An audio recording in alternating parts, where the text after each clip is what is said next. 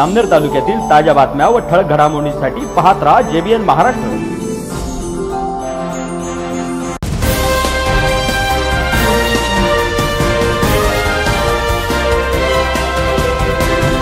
नमस्कार मी मिनल चौधरी. पाहूया काही ठळक वृत्त.